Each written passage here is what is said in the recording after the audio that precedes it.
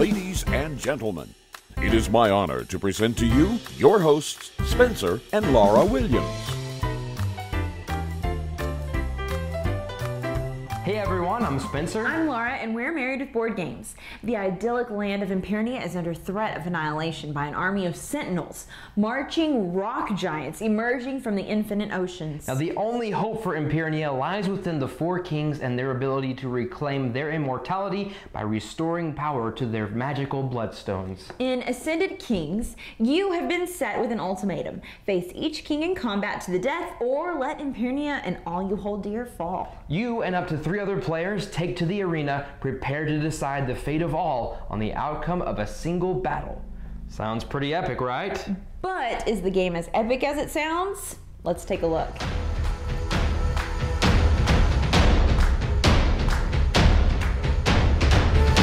Ascended Kings is a battle royal arena combat style game for two to four players.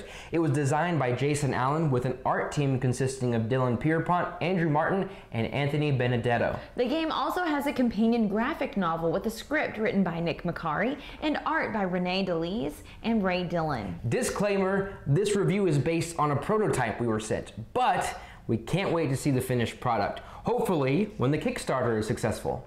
In Ascended Kings, two to four players control kings locked in intense combat with each other. Your objective is to reunite all four bloodstones by slaying your opponents and then by claiming the Omega Stone. So, what's a bloodstone and what's the Omega Stone? Let's take a look. Here is everything that comes with Ascended Kings. First, I want to draw your attention to the character sheet. Really cool illustration of your ascendant, different areas that mean different things like the transmutations, your gemstone pool. A lot of that's not going to mean anything to you unless you know how to play the game, but it's very important, I promise. And then the blood crest over here. Everyone starts with one bloodstone, and the point of the game is to kill each other and take each other's bloodstones because you drop it when you die. And then when you acquire them, you fill up your blood crest with the bloodstones. And then once you do that, you have all four, and a mega stone appears. That's this really heavy, shiny stone here, and that's going to appear randomly on the board. And if you have all four bloodstones and you make your way to the Omega Stone, you win the game. The other options you have for kings to play as, or ascendants, first is the Karis Vara. I don't know if I'm pronouncing these names right, but I'm doing my very best. And then there's also High King Apsu. He's the blue character. And then there are the other characters are Haramer Elodin. And then Kahadrius Zahoth. Each character has two corresponding miniatures, and there's a reason why there are two. You start the game as an ascendant, so that's the king and you can notice the detail on these these miniatures. Now they're 3D printed, so they're pretty fragile, and some of them have have little pieces broken off. But it's gonna be really neat to see what the finished product looks like. And so this is what you start the game as. But if you get killed, this figure is removed, and you come back as what's called a revenant, and it's the different looking figure. And on the other side of your character sheet is going to show the revenant state of your character. Like this, dire revenant. So the other side of Kahadrius Zahoth is the dire revenant. And you'll notice some differences here. Now you're still going to keep track of the same kinds of things like the bloodstones and your level and, and the gemstones over here. But there are just some slight differences. Every character has a revenant side, and every character has a revenant figure that you're going to play as if you get killed. You're going to keep track of your level with this round or crown, whatever word you want to use. It's really cool. It's metal. It's very it's very tactile to be able to feel that. And it's really thematic to be able to use a crown to keep track of what level you are. You also have these gemstones over here, and you're going to use these to perform actions or keep track of different stats. And you acquire these in different ways. Um, but first, I want to tell you what they are. The white is Aria, and that means move. So you spend white gems to move around the board, one gem per square. The green is what is called Aegis, and these are way these are the way you defend. So if someone attacks you, you spend a green Aegis gem to block. And then the red are pyre, and this is the attack gems. And so you spend these to attack somebody. If you have to take a wound because you don't have enough defense, you're going to get these dire gemstones. You're going to put them down. If you ever get too many dire wounds, you will die, and that's when you'll come back. And then finally, the blue gemstones are called Ilum, and that's how you're going to perform special abilities, special mag- magical abilities that are very, very powerful. So these are very important gemstones. The Ilum blue ones are.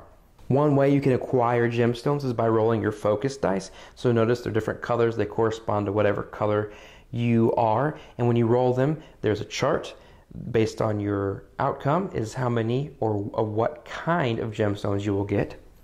Also, your cards allow you to get gemstones. Now, there are two parts to your cards. Up at the top, you get this free action, you can acquire gemstones. At the bottom is that special, powerful ability I was talking to you about. You're going to spend some blue, the Ilum gemstones, to be able to do a special ability. For example, this one is switch places with an opponent up to three tiles away from you in one cardinal direction. So that's a really cool ability. There are two different decks, one for Ascendants and one for Revenants. The Omega dial is going to keep track of your rounds. So for a two player game, you're going to start at 20 rounds. For a three player game, you're going to start at 15 rounds. And then for a four player game, you're going to start at 10 rounds. And then over here is also an event dial that um, you're going to do different events based on what you turn this on. You're going to turn this based on this die that you're rolling. This die serves two purposes to show you how many times you're going to turn that event dial, but also one of our one of the really cool things about this game is going to cause these firewalls to start moving in. So if you roll a three, you go to side three and you start moving that firewall in. So throughout the game, your play area is going to get smaller and smaller. You don't want to get anywhere near those firewalls because they're going to do damage to you percentile dice, you use these if you have to randomly place a gemstone on the board. So you'll roll those and it corresponds to a number on a space. And the last king standing die, if everybody else dies and you're the only one that has not died yet, you get to add this to your focus dice and it helps you roll better to get more gemstones. That's a basic overview of what you get and some different aspects to the game. We're not going to go too in depth of how to play. Um, we just want to show you what the game comes with and what it's all used for. Well, let's start our talk with the components. Um, you know, with this being a prototype, we expected to see, you know, some just some basic mediocre stuff but uh, that is not what we were delivered. Right. Oh my goodness. This stuff's amazing. I mean, I would pay money for this version of the game, with the exception of the miniatures being very fragile, but that's just because they're 3D printed. But everything else, the cards, the the player mats. Um, the miniatures. Well, yeah. I mean, wow, they're just so intricate. I mean, that's incredible. I, I haven't seen that much detail on anything before. Wow. Um, the gemstones are really cool. The, the the little rounds, the crowns, as I mentioned, they're they're everything. Everything's very tactile. Everything is is mm-hmm. nice to feel. I smiled just because our daughter liked playing with the gemstones. She did. Uh, we didn't lose any, so that's good. But uh, she did enjoy playing with the gemstones. Yeah, mm-hmm. all of the the. Well, and we liked handling them, putting them on our player mats. Mm-hmm and um, picking them up off the board. There's we just, liked handling those. There's things. just something about the sound of it clicking down on the board or, or you know putting it going in place. Uh, we really like that. And, and as we said, it's we're going to be really excited to see what the finished product is like oh, because if it's man. anywhere close to this, you're definitely going to be getting your money's worth. Yes, definitely. And speaking of money's worth, the artwork.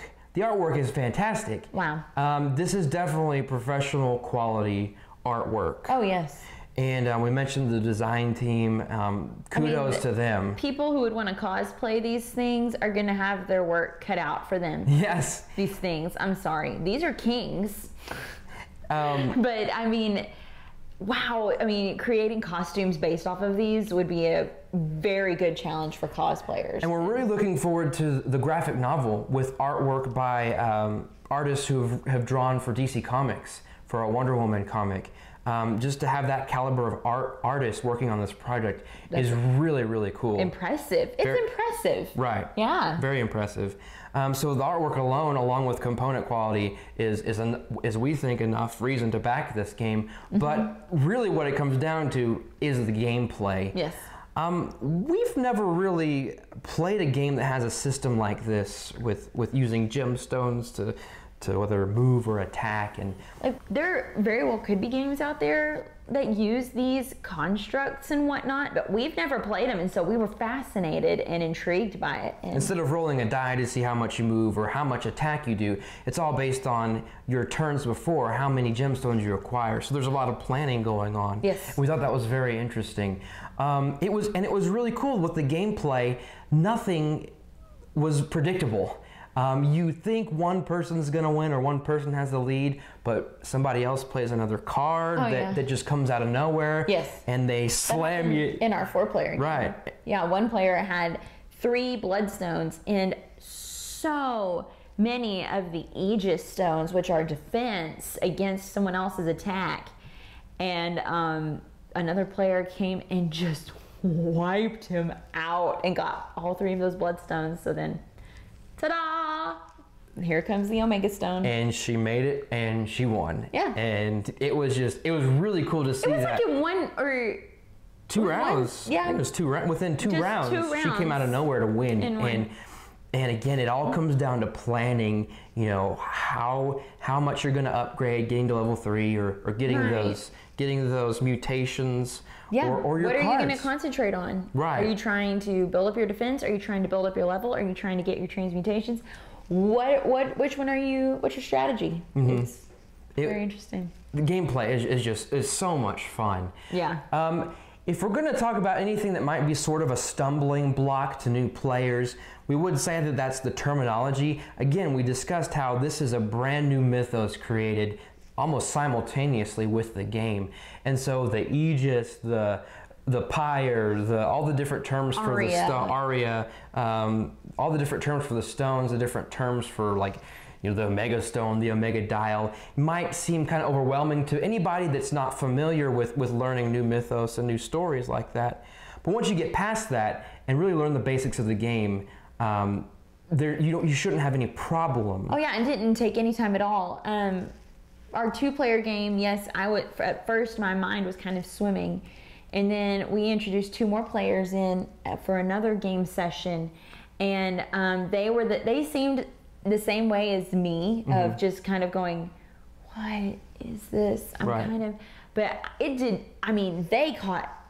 Wow, they caught on so quick, and I mean, they're the ones that that ended up doing better better than than us, us. right? and but because of all those different words, those different terms, the different vocabulary, a story being created, it really creates a really cool theme of these Yeah. kings battling on a battlefield. And when you're using these terms like, "Oh, you've been dealt pyre, not pyre, uh, dire wounds," um, it, it, it adds to the theme. And, and I'm going to attack you with with these pyre gems. Mm-hmm. Um, it's really cool. I mean, I'll admit, it seems intimidating at first, but please, please do not let that be a deterrent. I mean, if you get past that, if you'll look past that, you will not be disappointed. Right, and um, like I said, it's de- I would think that when you get past that and you do learn those terminology, it definitely adds to the theme of the game. Oh, so, yes. so big thumbs up there.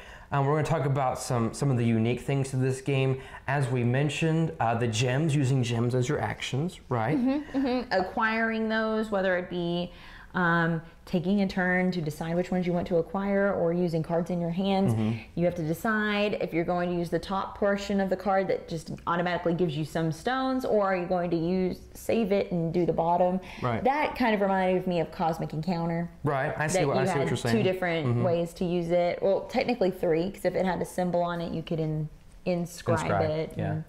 Um, another thing we thought was really cool are the firewalls. yeah, that's so neat. each round having your your playing area shrink and shrink and then I, i've got a love-hate relationship with the firewalls i love them because it's a cool concept it's really neat but then you, Spencer's feeling the burn. yeah I- I got burned several times from the Man, firewall. in each game. Oh, I yeah. mean, he hangs out Multiple by the fire. He might as well be roasting marshmallows. But um, so we love the firewalls.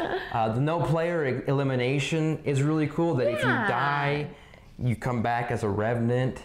And then even if you die as a revenant, you just keep coming back, almost like spawning in a video game. yes. Um, so that's really cool, uh, and very good to, to not have to be eliminated from the game and then have to sit out and watch everybody else play. Mm-hmm. You mentioned, um, I don't know if you mentioned it, but on the on the at the beginning of your turn, you decide if you're going to be active or if you're going to be latent, and so And when you're latent, that's when you acquire most of your Right. things. So you have to make that decision. Okay, this turn, am I going to be active? Do I want to do things that really will benefit me by attacking or moving? Or do I want to If you even have gems to move. Right. Or do I need to sit out this turn and acquire cards that'll help me acquire And gems? gems, to And- be able to do those actions the next turn. Right. Yeah. Um, so that's a really cool, cool decision to be made.